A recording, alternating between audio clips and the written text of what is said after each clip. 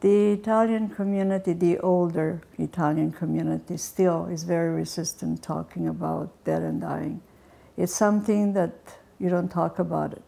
When it happens, it happens. And preferable, the children will say, Why is that doctor telling my parent that they're going to die just in their face? Now she's going to be devastated. It's not done. In Italy, the doctor tells the family, does not tell the patient that they're dying. They don't want to worry and scare them and make them more upset. But they will help them.